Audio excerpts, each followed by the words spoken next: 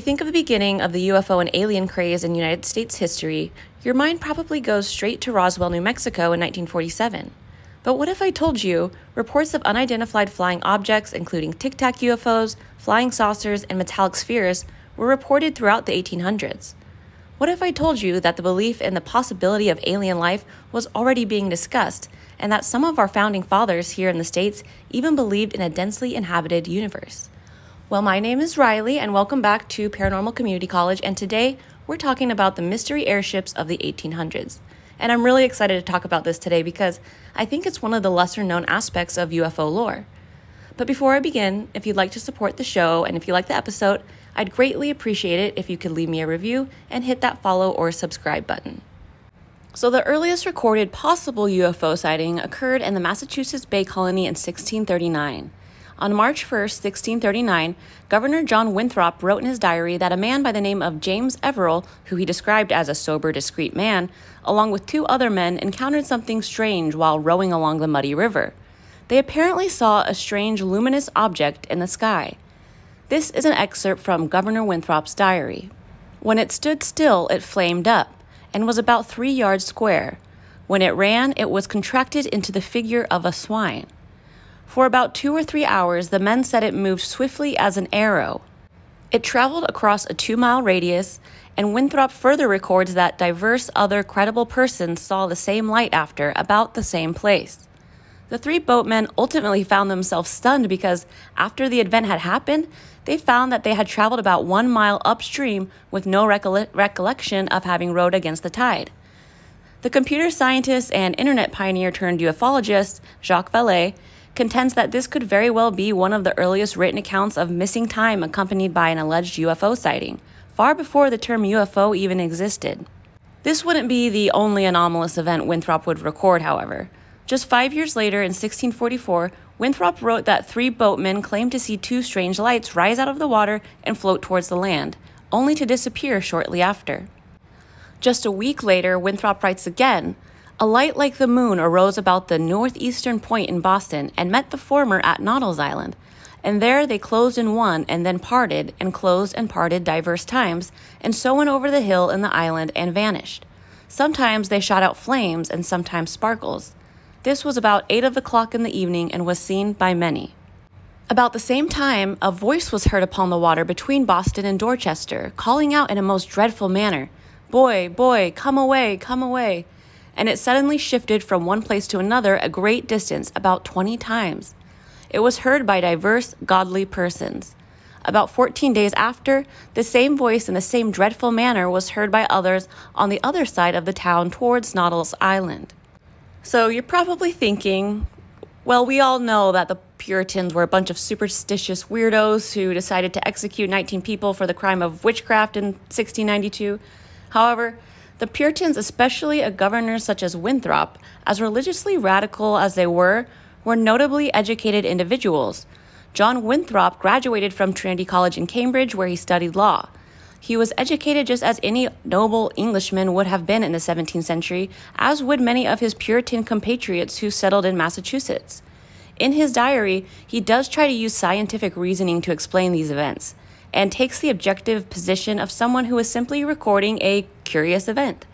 He doesn't even hint that this is of the devil or supernatural, just an odd or unexplainable occurrence.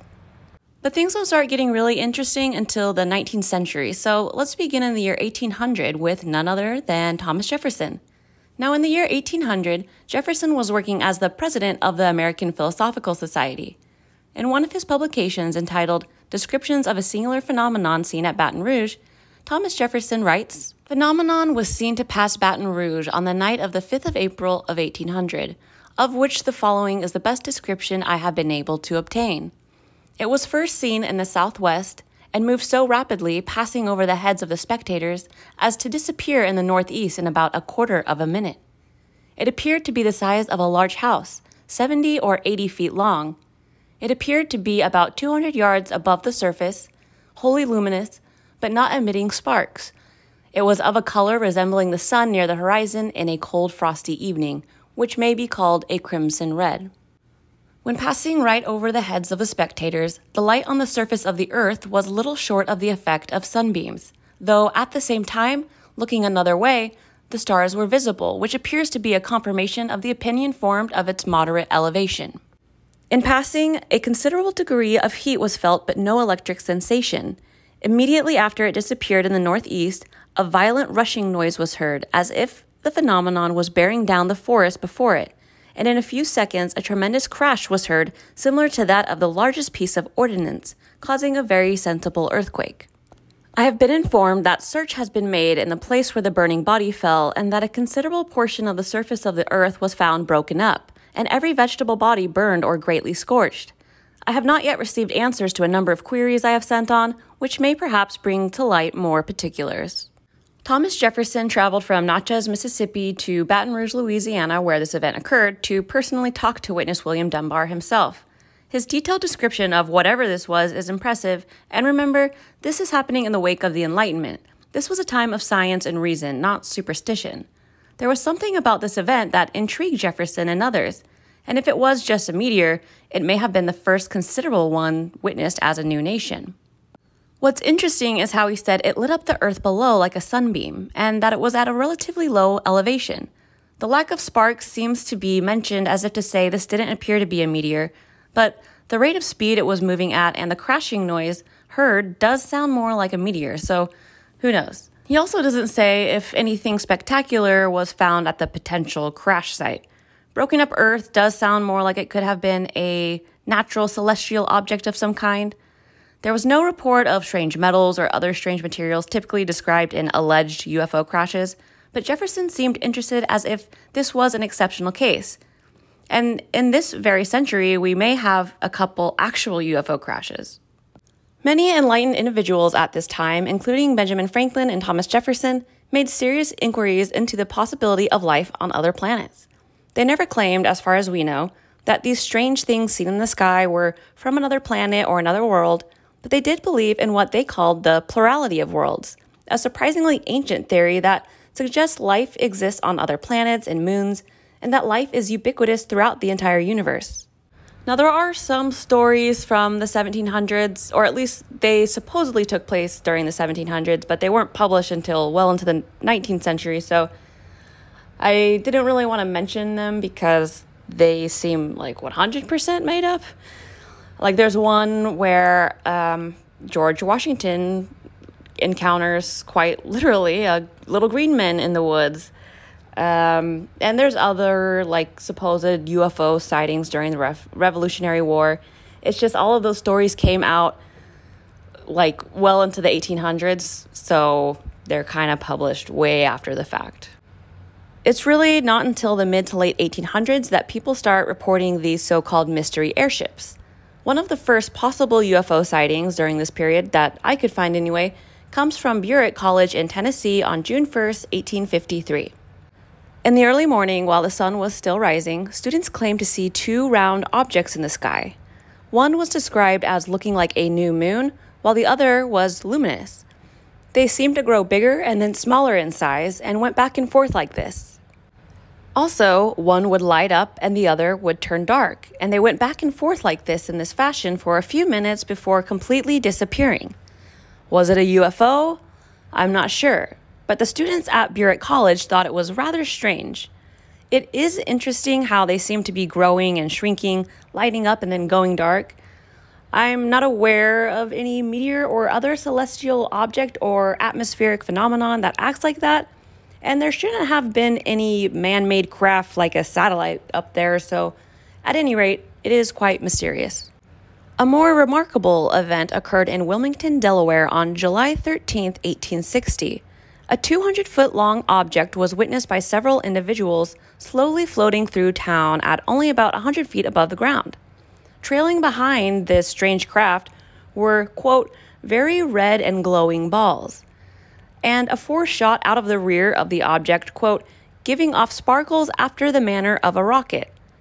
From beneath the craft emanated a pale blue light that lit up the ground below as it slowly hovered over the town. This one is quite weird, as it seems as if it was moving at a moderate or even slow speed, and the pale blue light and very red and glowing balls trailing the craft also seems odd. Again, doesn't sound like a meteor. Many skeptics at this time claimed people were simply mistaking these airships for planets because, yeah, super easy to mistake a planet high up in the night sky for something floating slowly over the town. The first account of a mystery airship in those direct terms took place in Montana in 1865 by James Lumley near Cadotte Pass, which is now the modern day Continental Divide Trail between Rogers Pass and Highway 200. His story is recorded as such. Just after sunset one evening, he beheld a bright, luminous body in the heavens which was moving with a great rapidity in an easterly direction. It was plainly visible for at least five seconds when it suddenly separated into particles, resembling, as Mr. Lumley described it, the bursting of a skyrocket in the air. A few minutes later, Lumley heard an explosion that jarred the earth, followed by a rumbling sound he said sounded like a tornado sweeping through the forest. There followed a strong wind and a peculiar sulfur smell that filled the air. He saw a trail of destruction the next day. Great and widespread havoc was everywhere visible. He claimed he saw a rock among the debris that was divided into compartments labeled with curious hieroglyphics. He said the material resembled glass and that there was a dark liquid throughout the area. The stone itself, although but a fragment of an immense body, must have been used for some purpose by animated beings. The newspaper writer states, quote, Strange as this story appears, Mr. Lumley relates it with such sincerity that we are forced to accept it as true. Okay, so there's a couple interesting aspects of this story. So, of course, it happened over a hundred years ago. We have no way of knowing if it was entirely made up or what kind of person Mr. Lumley was, although he could have been the first person to create a UFO crash story, so who knows? But let's look at this in context of some modern UFO crash sites or alleged UFO crash sites one thing that stood out to me was the sulfur smell. That sulfur smell is so often mentioned in close encounters and UFO crashes. If you're familiar with the Varginha UFO incident in Brazil, you know what I mean. But the sulfur smell could also be from something totally natural, like a meteor, perhaps. But we all want it to be aliens, let's face it. And how many times do witnesses claim to see strange markings that they specifically describe as hieroglyphics? the Rendlesham Forest incident, the Kecksburg UFO incident, and the highly credible Lonnie Zamora encounter, to name a few. Now, him describing the debris being like glass is different. So often we get that indestructible foil material. But the debris and liquid he describes as being spread out across a vast area, that is common, but of course, this could have been a meteor. But it's the rock with compartments and writing on it that is so curious and his conviction that it had to have been made by animated beings. And the way the journalist says that he relates the story with such sincerity that we are forced to accept it as true. This is such another common theme of outrageous UFO and alien experiences. No one wants to believe them. Their story sounds too crazy. But if they're lying, they deserve an Oscar. Whether it's their body language, their tone of voice, their genuine look of fear and distress and confusion, some of these witnesses are hard not to believe.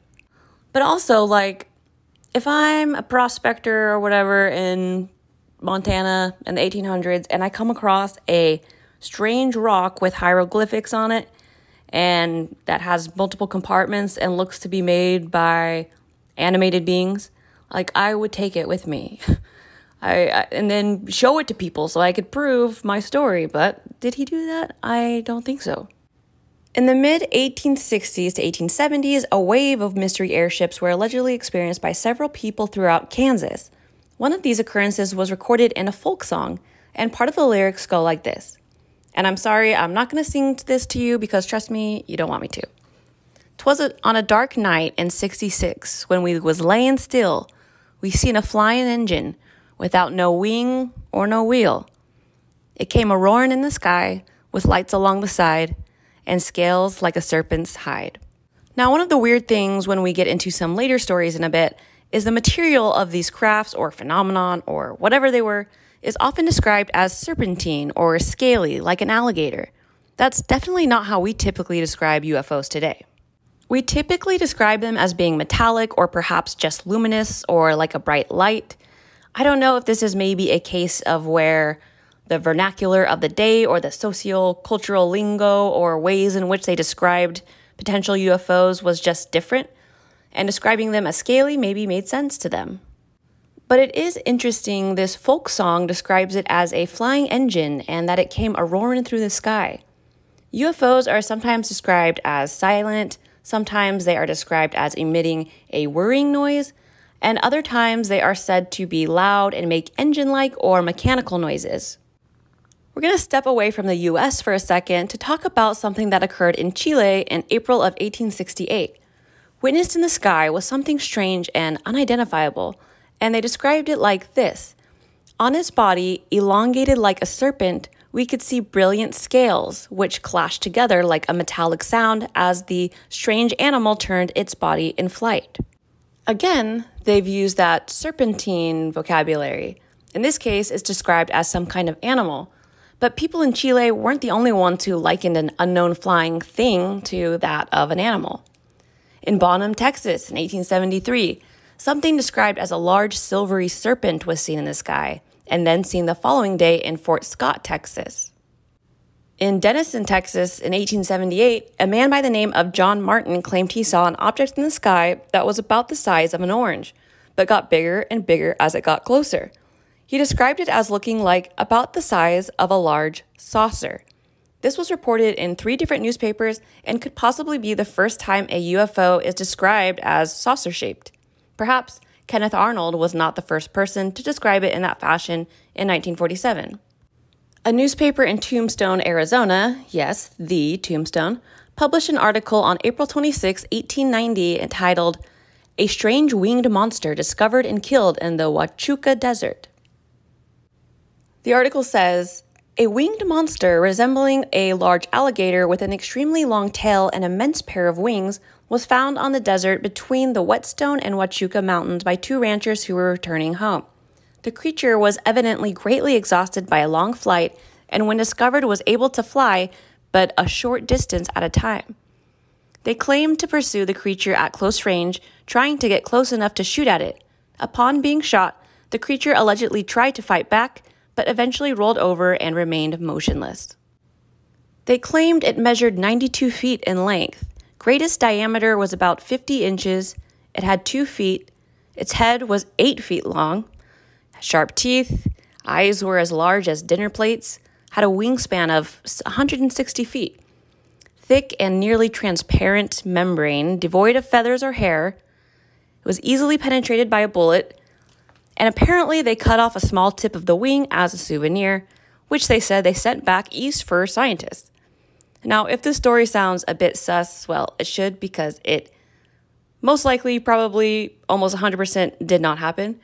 But there were a bunch of these so called Thunderbird sightings during this period. Some guy in the 1930s actually said that it had been him, that they did try to chase it down, but that the horses were spooked and they were forced to turn around. They never tried to shoot it down. They were frightened themselves and they told people about it, and it became bigger than it was. Now, not only is this a time of sensationalized stories in the newspapers, but people also knew about dinosaurs and pterosaurs by this time.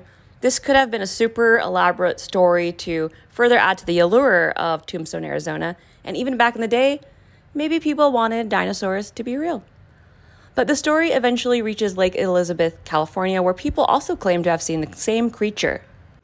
Now, I know these aren't really UFO stories, but they're still interesting and still unidentified flying animals of some kind, or just fanciful stories that are fun to imagine against the Wild West cowboy backdrop cowboys and aliens and flying monsters.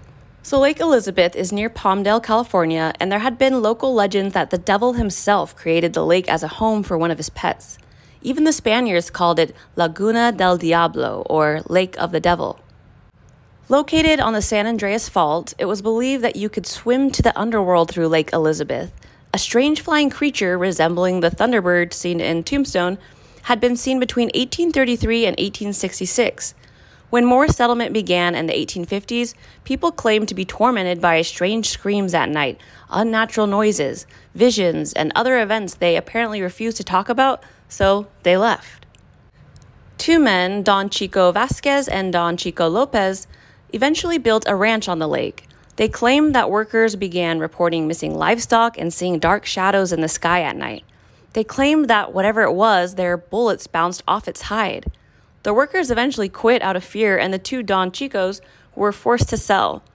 And what is interesting about the workers' claims is you have something flying in the sky that is impenetrable, impenetrable by bullets, and livestock is also going missing.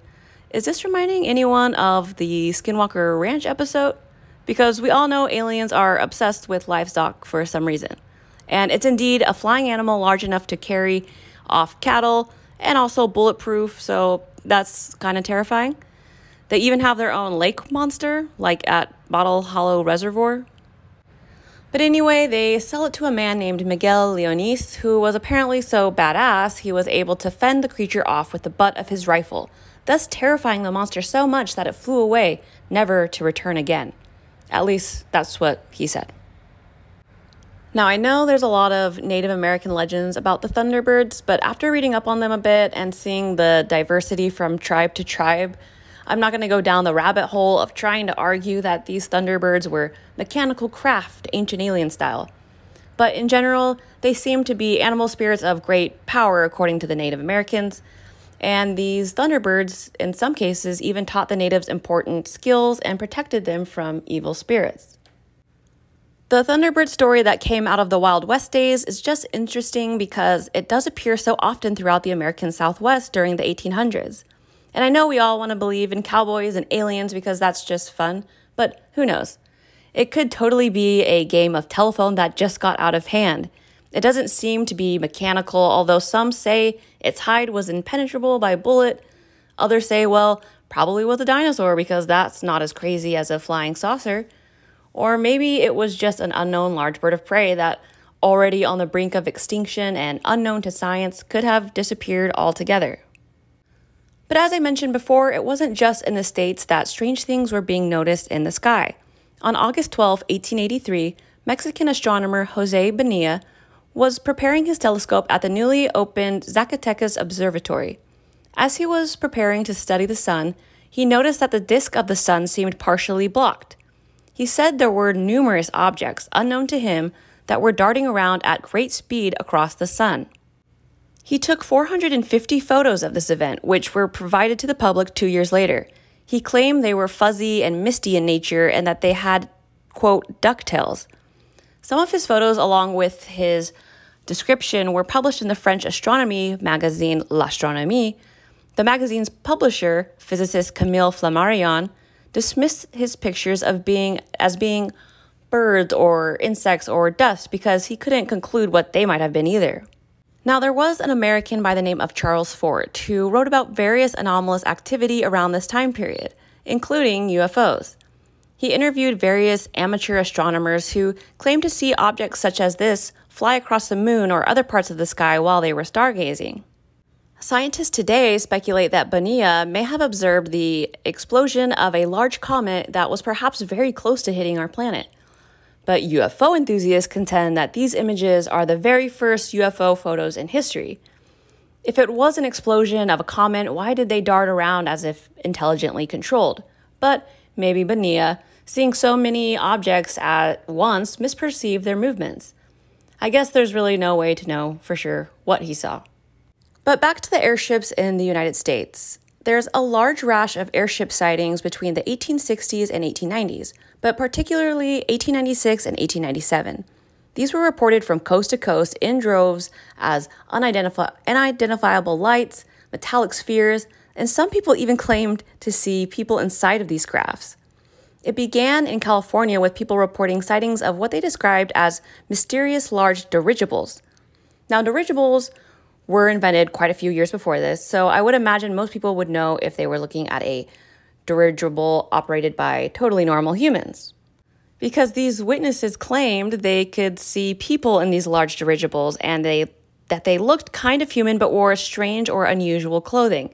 In one story, the people told them they were straight up from Mars. But bear with me, I'm going to get into the rampant yellow journalism in this whole era in a few.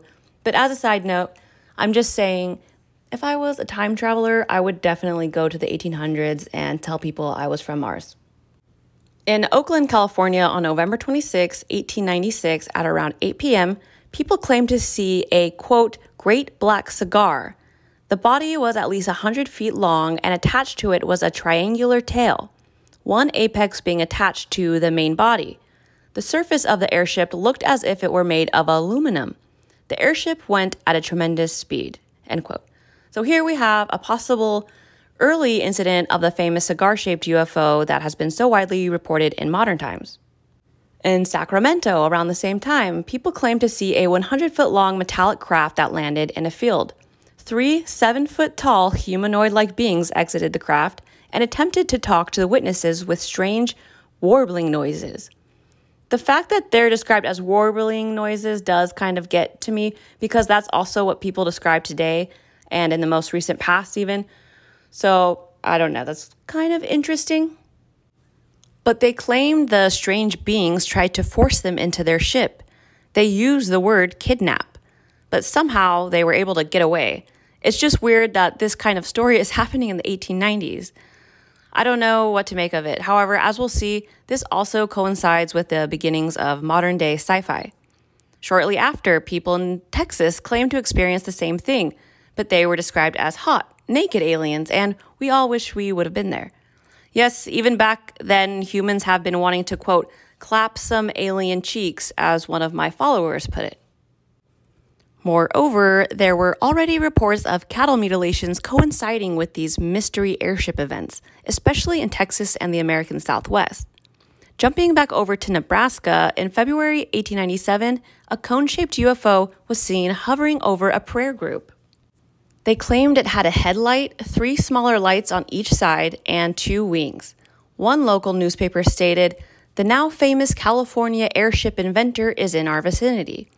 Now, I'm sure not everyone's mind in the 1800s was blaming these crafts on aliens or thought they were alien in nature. Remember, this is America and the 1800s, after all. Lots of religious folk and typically conservative religious folks aren't very into the idea of life on other planets. This newspaper clipping suggests that maybe people thought there was some elaborate hoaxer or perhaps an eccentric inventor who was responsible for this. In nearby Kansas, we have cattle mutilations reported around the same time, with one frustrated cattle rancher claiming that he saw, quote, hideous creatures who carried off his calf in his ship and then flew away in an airship. Jumping continents again, let's head over to Bournbrook, England in 1901 a 10 year old boy claimed to see what he described as a box.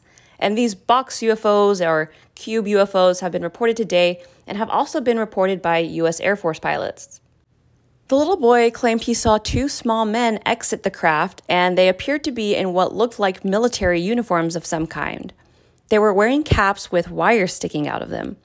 When they emerged from the craft, they waved for him to go away. Watching from a distance, the boy claimed he saw the craft fly off in a flash of light. Now, you may be thinking, okay, kids have wild imaginations, and yes, of course they do. But this is a rather weird story, so I thought it was worth mentioning.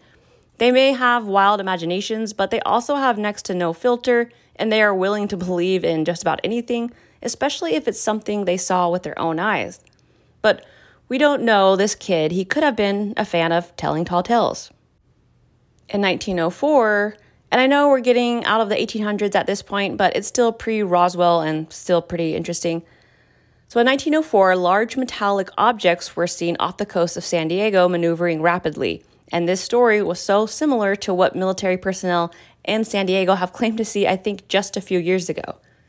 In 1907, a torpedo shaped object was spotted off the East Coast, followed by a metallic sphere.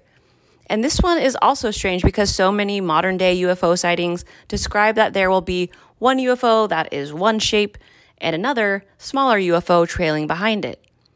This next story is perhaps one of the most intriguing and one of the most well known.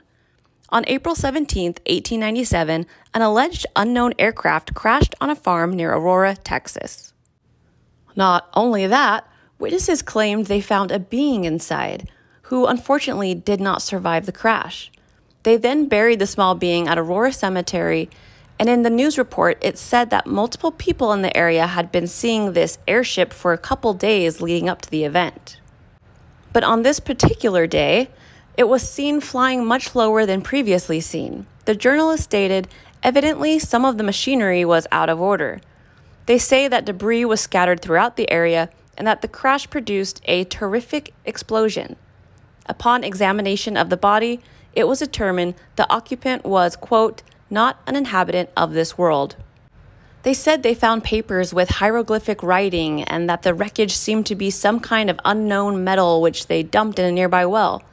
Now, you might be thinking, first of all, this story is crazy, and second of all, if there's an alien buried there, why haven't we gone and dug it up yet? So I swear I remember on TV a long time ago, I saw this thing about the crash in Aurora, Texas. And they included this story about some kid and maybe some of his friends who had tried to dig up the body shortly after, but they saw military people there or people in black suits who had it blocked off and were surrounding the gravesite. And then the guys returned later on to find that the body had been taken. Well, I couldn't find that story online anywhere, so maybe I made it up or whatever I was watching on TV made it up. However, there was a man in the 1930s who lived on the farm of the famous UFO crash. He decided that he wanted to use the well and began clearing it out, doing who knows what with the potential alien spaceship material. But apparently, this guy ended up developing severe and debilitating arthritis in his hands, so much so that they became warped and swollen. Now, for a second, I'd like to remind everyone that this was an era of our history that was rife with what came to be called yellow journalism. It's kind of like our modern day fake news. Stories were purposely sensationalized or, in some cases, even completely made up. They were written to purposely inspire fear or excitement in order to sell more papers or get people politically enraged in one way or another. This type of journalism did not come without very real consequences. Sound familiar? It's also during this time that newspapers regularly reported real ghost stories. What many people may not know about the late 1800s is that people were getting very into the supernatural. This is when the spiritualism movement happened and when writings from theosophists such as Helena Blavatsky were published. There was a strong underbelly of groups and individuals who became very into things such as aliens, other dimensions, ghosts, divination, and alternative spiritual beliefs in general. And this is a common phenomenon that occurs after traumatic events. In this case, we are talking about a time still processing the trauma of the American Civil War. This is also where the sci fi genre as we know it is created. H.G. Wells' War of the Worlds was published in 1898. The Time Machine, The Invisible Man, The Crystal Egg, and The First Men in the Moon were written by Wells during this time as well. Jules Verne wrote From the Earth to the Moon in 1865 and Journey to the Center of the Earth in 1870. The idea that perhaps there were things unknown and unexplainable definitely existed during this time, and anyone from theosophists to spiritualists to any old average Joe entertained the idea that life existed elsewhere in the universe. And what if they do come here sometimes? People in the 1800s were just as inquisitive and imaginative as we are today. They just didn't have the resources or technology to make movies about it or podcasts about it. A part of me wonders if pre Roswell, like maybe somewhere between early 1900s and the 1940s, we had forgotten this part of our history that was so rife with all these mystery airship stories and alien stories, UFO stories and kind of rec- are recreating it now in um, we did in the 20th century and we are in the 21st century. Maybe in the 1800s this was a big deal that people were talking about. Maybe they were talking about alien abductions or kidnappings or seeing different types of UFOs and there was all these sensationalized stories about it like there are today in our society. Like as much as I believe in aliens and UFOs I know that a bunch of people who come forward with these stories are either lying or exaggerating or very much mistaken. I know that there's only probably a kernel of truth to like 10% of alien and UFO stories, but still, that 10% is rather convincing. So I don't know, that's just a little theory I have. But I'd like to talk about a couple more stories. So, in Hamburg, Germany, in June of 1914, people claimed to see what they described as dwarves who were four feet tall near a cigar shaped vessel that had lighted portholes. And those lighted portholes, or just portholes in general, are still commonly reported today. They claim that these beings were just milling around until they took off in their ship, again at a tremendous speed, seemingly in an instant. Jumping back to the States, in Detroit in 1922, a couple claimed to see a large disc hovering over them. Now, there wasn't much about the story, but my first question was okay, this is Detroit. Wouldn't so many people have seen this as well? So I don't know what to make of it or if I can find it credible. But even more unbelievable, they claim to see about 20 bald headed beings staring at them.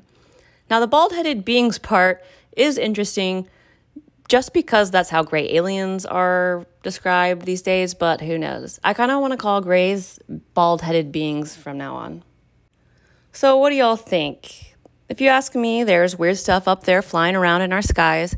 And if you ask plenty of modern US Air Force pilots, they will tell you there's plenty of stuff up there that they can't identify and that do not make sense to them. But what if it's kind of always been there? Maybe post nuclear weapons, the activity or interest these things have in us just ramped up. People have always, throughout the recorded history of human civilization, human beings have always claimed to see things in the sky that they couldn't totally explain. As of now, whatever they are, and after possibly thousands of years of sightings, we still cannot say, beyond a shadow of a doubt, what they are. So, my question to you guys is what do you think? With these mystery airships, was it just an issue of yellow journalism, or did the beginnings of modern sci fi influence these stories? Or do you think there might be some truth in the idea that they may have been of an otherworldly origin?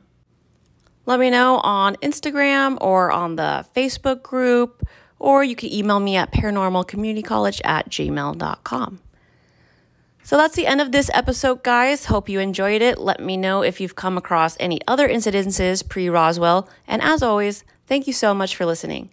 Next time, we're talking about Bigfoot. So until then, take care, everyone, and I hope you have a happy 4th of July.